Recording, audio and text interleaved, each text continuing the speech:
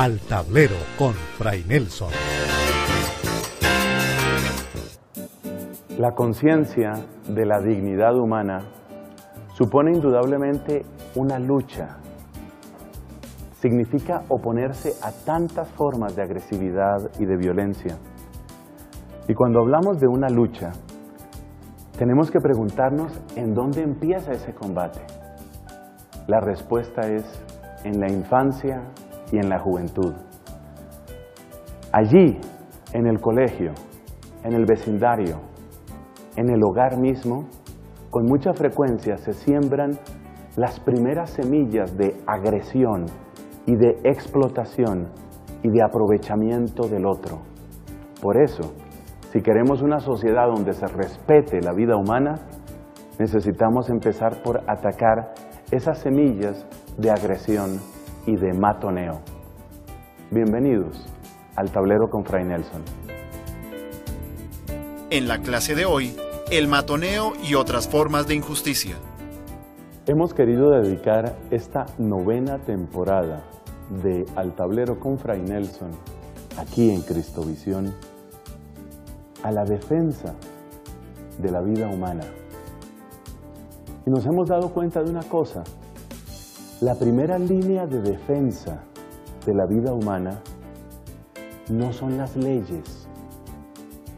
Hay que trabajar, hay que luchar por un sistema legal que apoye la vida humana desde su concepción hasta su desenlace natural. Hay que trabajar por eso. Pero al mismo tiempo, hay que entender que la primera línea de defensa de la vida humana no son las leyes. La primera línea de defensa son las convicciones. Y yo quisiera que empezáramos nuestro programa de hoy haciendo una clara distinción entre esas dos realidades, las leyes y las convicciones. Las leyes son aquellas piezas legislativas que después de larga discusión resultan aprobadas o desechadas en los parlamentos.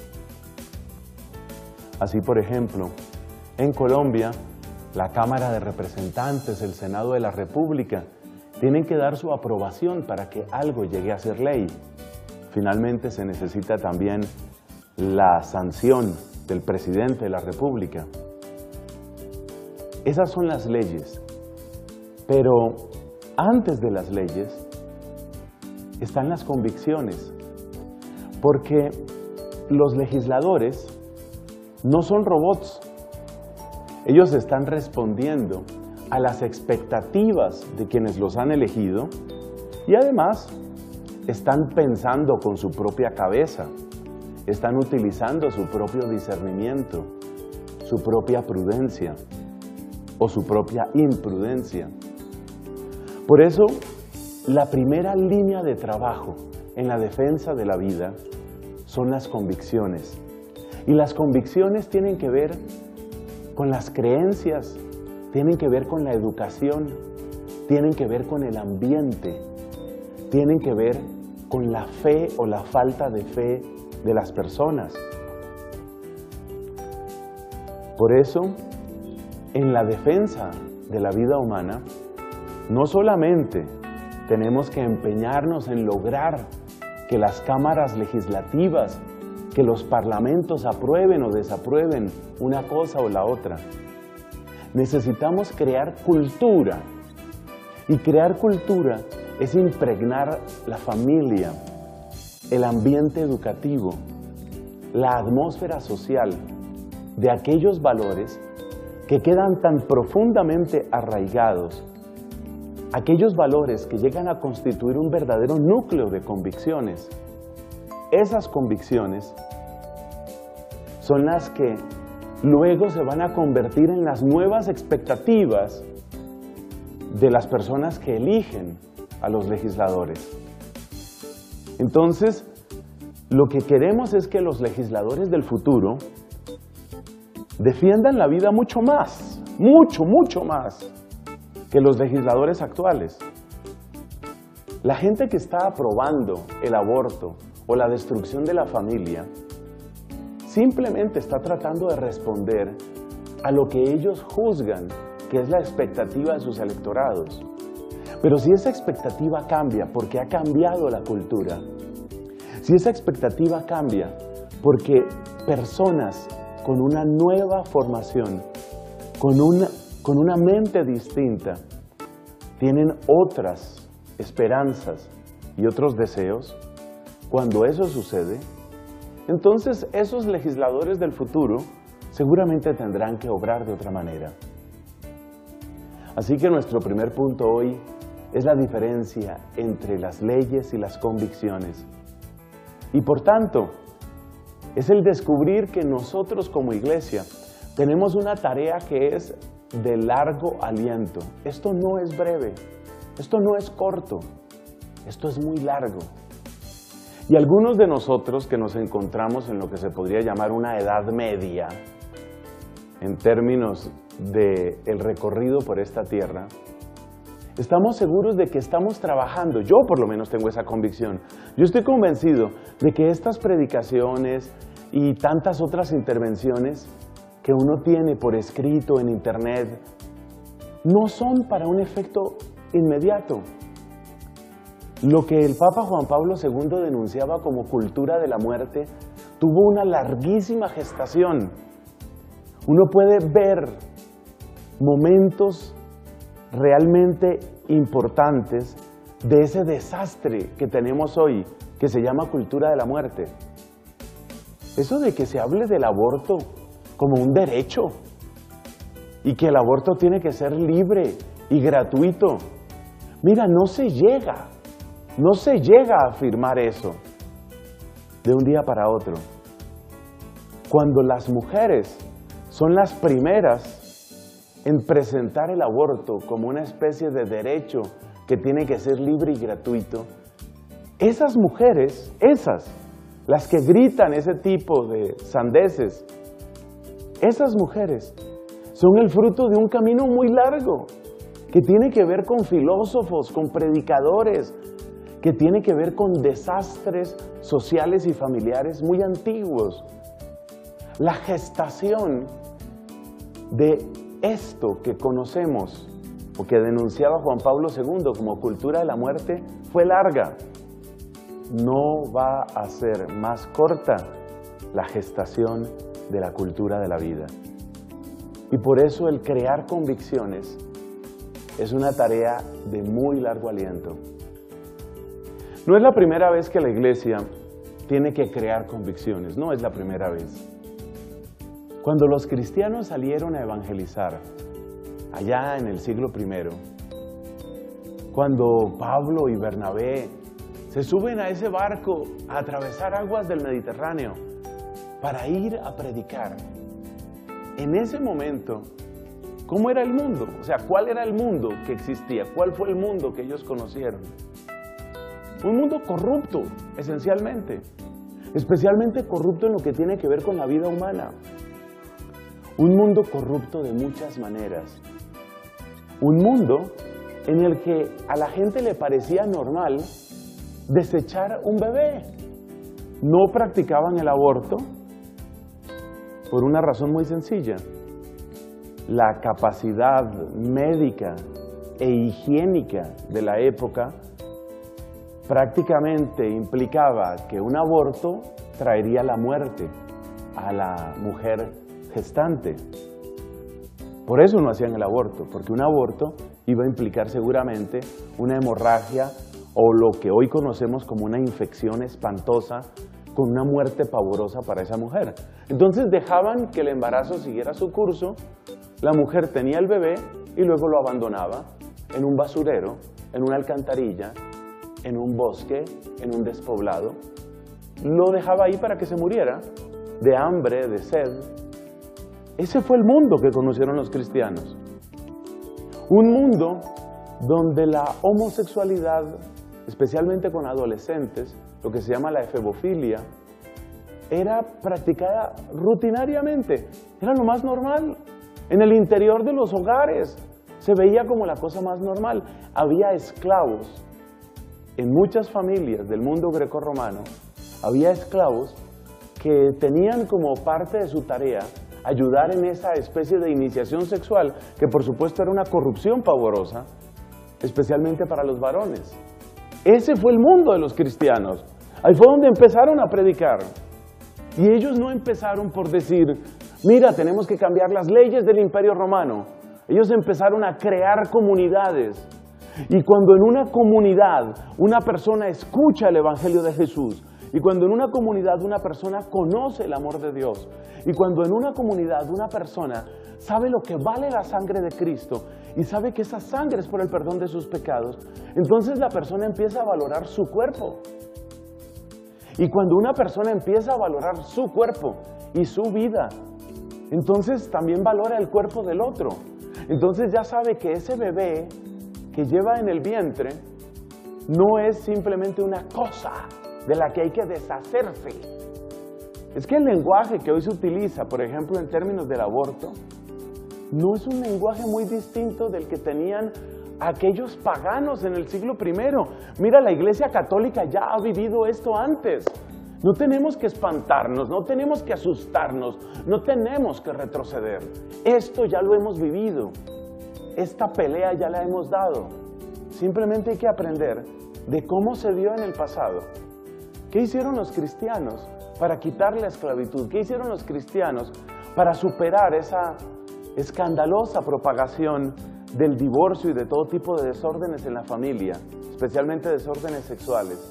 ¿Qué hicieron para vencer eso? Crear comunidades. Allí donde la gente descubre lo que vale el cuerpo humano, la mujer sabe que no es un juguete. Y ahí entiende que ella y el cuerpo de él, del hombre, no son entretenimiento. Imagínate en ese mundo pagano Imagínate lo que siente una persona de esas, de esas que desde temprana edad ha visto su cuerpo y su sexo como entretenimiento. Imagínate lo que siente el día en el que, bueno, vamos a leer una carta que nos ha enviado el hermano Pablo, San Pablo. Vamos a leer la carta que nos ha enviado. A ver, ¿qué dice? ¿Qué dice esta vez? A ver, Siéntense todos, vamos a escuchar la carta que nos mandó Pablo. Y empieza Pablo a contar y a decir cosas y cosas. Y por ahí en una parte dice, el cuerpo de ustedes es templo del Espíritu. El día que la persona oye eso y entiende un poquito de lo que es un templo y un poquito de lo que es el Espíritu Santo, ese día se le acaban las ganas de jugar con su cuerpo. Y ese día entiende que no tiene una cosa en la matriz, tiene un ser humano. Y ahí se acabó el infanticidio y ahí se acabó ese modo de desprecio a la vida humana.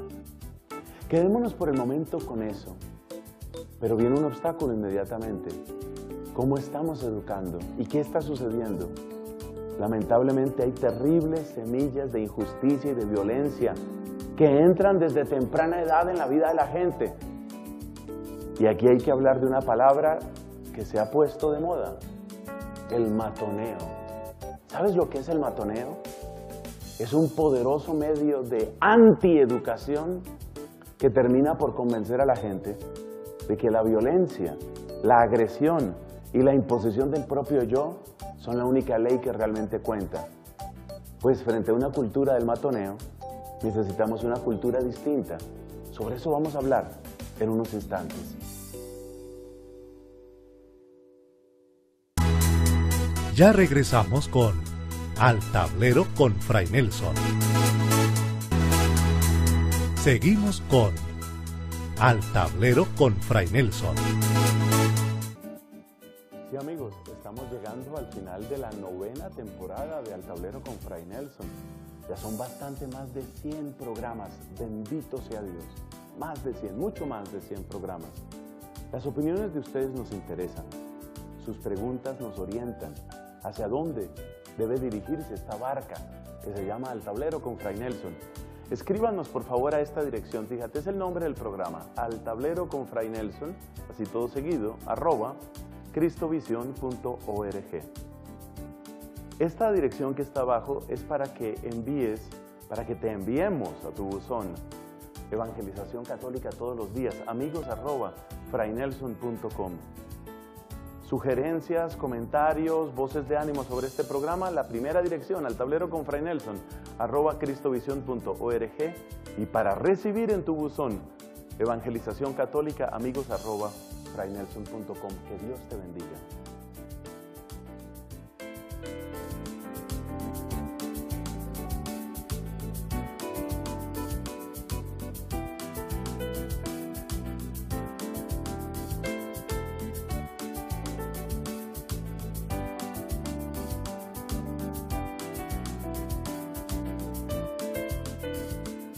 Estimado Padre, quiero solicitarle el favor de explicarme cuál es el proceso para un sacerdote de la Iglesia Ortodoxa incardinarse a la Iglesia Romana. Muchas bendiciones.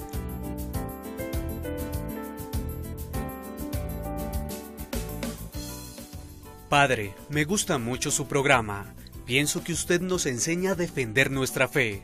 Yo tengo que defenderme de los protestantes de mi familia constantemente. Además me atacan con la famosa idolatría a la Virgen y también confundiendo a mis hijos. Dios lo bendiga y gracias. Margarita Romano.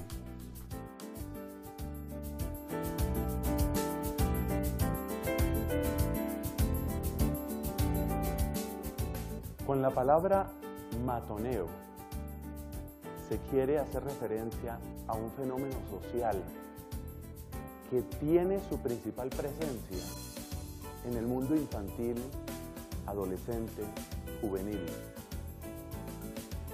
En muchos países se utiliza la palabra matón para indicar a aquella persona que a través de la agresión, a través de la violencia verbal o incluso física, asegura una cierta posición dentro de un círculo social. El caso típico es el jefe de una pandilla. A través de su postura corporal, a través de su lenguaje, a través de sus insultos, está diciendo, yo soy el que manda aquí. Y eso significa que el matón tiene su complemento en aquellas personas que son sus discípulos o sus seguidores o sus súbditos, todo eso se confunde. Es un modo primitivo de poder, un modo primitivo de autoridad que se instaura a través del miedo y que usualmente se sostiene también a través del mismo miedo. En inglés se utiliza la palabra bullying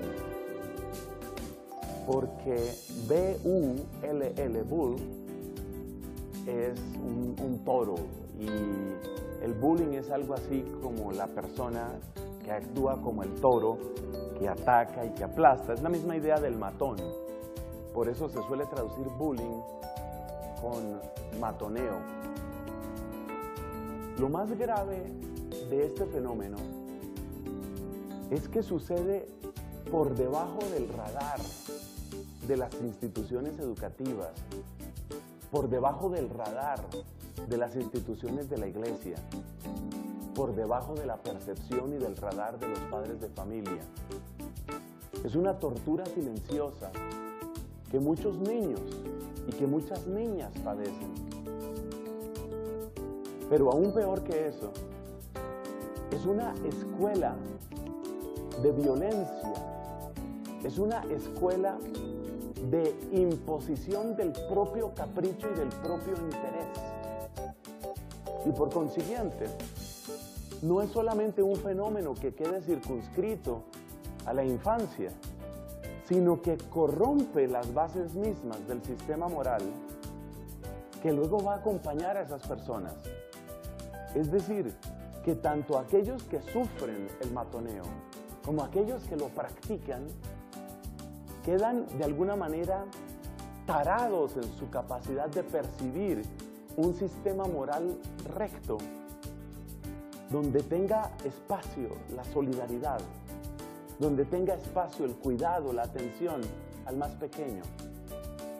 La persona que ha padecido matoneo recibe junto con esas agresiones una especie de avalancha que despedaza los cimientos de sus convicciones morales.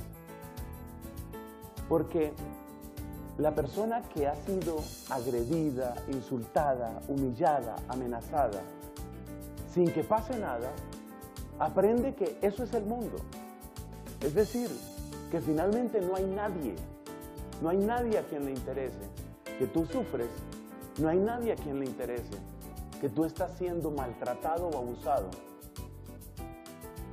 Y esto es muy grave porque cuando una persona crece con la convicción de que en realidad no hay nadie que pueda realmente apoyar, sostener, defender, pues ya te imaginarás cómo obra esa persona cuando le llega su propia oportunidad. Entonces quiere decir que, que también yo tengo que repetir el mismo esquema. Y como sacerdotes encontramos muchas veces esta situación. Los hijos de padres abusadores tienden a ser padres abusadores. El hijo del papá alcohólico, agresivo, tiende a ser agresivo alcohólico. La hija de la madre soltera tiende a ser madre soltera. ¿Por qué se repiten estos esquemas? Porque esa clase de percepciones que se tienen en la temprana infancia no solamente lastiman la temprana infancia, sino que quedan de un modo perdurable destruyendo el sistema moral de la persona. Es que en la infancia no solamente aprendemos a hablar, por ejemplo, el español. En la infancia también aprendemos lo que podríamos llamar el alfabeto emocional y el alfabeto moral. Esas cosas las recibimos en la infancia. Entonces, si mi alfabeto moral, si los cimientos mismos de mi estructura moral dicen que el que más agrede es el que más logra, si esa es la ley que quedó implantada en mi cabeza, porque eso fue lo que yo vi en mi colegio, eso fue lo que yo vi en mi familia, eso fue lo que yo vi en mi barrio, esa persona que tiene esa clase de experiencia, ¿cómo va a compadecerse después de un feto discapacitado? Que se acabe, que se muera, que lo rompan, que lo maten. ¿Qué tipo de compasión cabe en una vida que lo único que ha experimentado es dureza. Creo que queda suficientemente claro cuál es el tamaño de implicación de este problema. No es una anécdota triste en la vida de algunas personas, es un fenómeno sistemático que está afectando de una manera pavorosa a millones y millones de niñas y de niños en sus familias, en sus lugares de vivienda, en sus colegios. Para luchar contra el matoneo, aquí tenemos tres planteamientos. Primero, lo que ya hemos explicado. Están bien las leyes, pero las convicciones son mayores que las leyes. Son más importantes las convicciones que las leyes. Y en este sentido, tenemos que declararnos todos en estado de discipulado. En la conferencia de Aparecida, nuestros obispos hablaban de una iglesia en estado de misión, pero también nos dijeron que todos éramos discípulos y misioneros. Yo creo que así como la iglesia tiene que declararse en estado de misión, todos en la iglesia, de hecho en la sociedad, tenemos que declararnos en estado de discipulado, en estado de aprendizaje. Porque en el conocimiento de estas realidades, oíganme bien, padres de familia, los últimos que suelen enterarse de que su hija está siendo maltratada verbal o físicamente en el colegio suelen ser los papás. Son los últimos. Todo el mundo sabe y los papás no saben. Por eso los papás necesitan reeducarse en sus convicciones. Creer, creer vanamente que el hijo que no tiene problemas, lo dije mal, creer vanamente que el hijo que no pone problemas es el hijo que no tiene problemas, es uno de los peores errores que cometen los papás y es uno de los espacios amplios que se le dejan al matoneo en nuestra cultura. Cuando un papá cree, mi hija no pone problemas, luego mi hija no tiene problemas, te estás equivocando. Probablemente tu hija no te pone problemas porque te tiene tanto miedo a ti como le tiene miedo a la compañera que la humilla, a la profesora que la maltrata, a la vecina o al vecino que la mantiene amenazada y que probablemente ya está abusando de ella, de su cuerpo, por ejemplo, de su dignidad. Entonces hay que educarnos en las convicciones, hay que tener mucho cuidado con esto. Te lo repito por última vez, no pienses que el niño que no pone problemas es un niño que no tiene problemas. Ahí hay que educarse. Segundo, esta frase es del Papa Francisco, el tiempo es superior al espacio. Y mucha gente dice que es una frase demasiado abstracta, está en la exhortación apostólica Evangelii Gaudium, que él promulgó en noviembre del año 2013. Lo que nos quiere decir el Papa es que nuestra lucha no tiene que ser en primer lugar por asegurar espacios. Nuestra lucha tiene que ser por asegurar procesos. Porque cuando uno pretende asegurar simplemente espacios, probablemente uno está repitiendo la misma lógica de los matones. En esta casa las reglas son estas y punto. Eso te da una sensación de seguridad. Te da la impresión de que tu casa es un espacio libre de problemas. Pero ¿cómo están los procesos de maduración, de diálogo, de dolor, de temor? El Papa nos invita a quitar la arrogancia de los que pretenden asegurar espacios inmaculados y a entrar todos en procesos en los que reconocemos que necesitamos educarnos y aprender. Y por último, hay que creer que la escucha es mayor que la agresión. Como tengo un hermano que es psicólogo y tengo muchos amigos psicólogos y pedagogos, y en mi propia comunidad, bendito sea Dios, también hay una gran dedicación a la educación. Puedo decir que he estado rodeado de esta experiencia. El niño que agrede, el niño que permite ser agredido, necesitan en primer lugar ser escuchados. Una agresión es algo antinatural. Una agresión es la consecuencia de algo. Entonces, ¿qué hay detrás del niño agresor? Muchas veces hay una familia marcada por la violencia. ¿Qué hay detrás de una agresión? No es simplemente decir, con mi hijo no se meta. Hay que ver qué está sucediendo en esa historia. ¿Qué está sucediendo en el corazón y en la vida del niño que permite ser agredido? ¿Qué está sucediendo en la niña que permite que la traten de cualquier manera? Muchas chiquitas permiten humillaciones y permiten maltratos porque están tratando de lograr alguna aceptación en un grupo de amigas.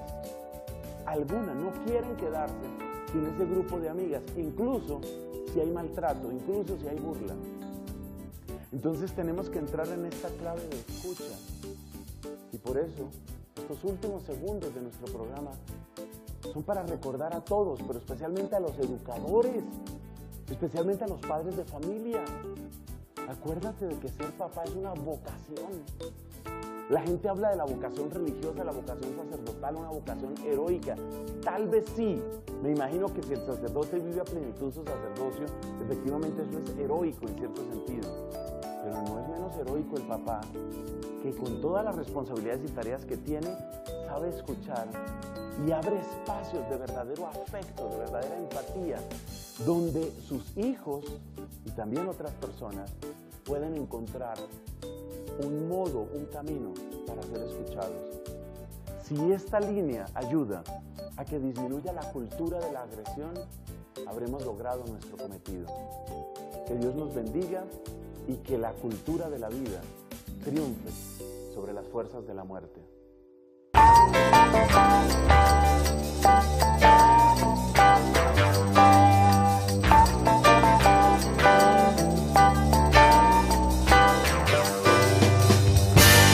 Al tablero con Fray Nelson.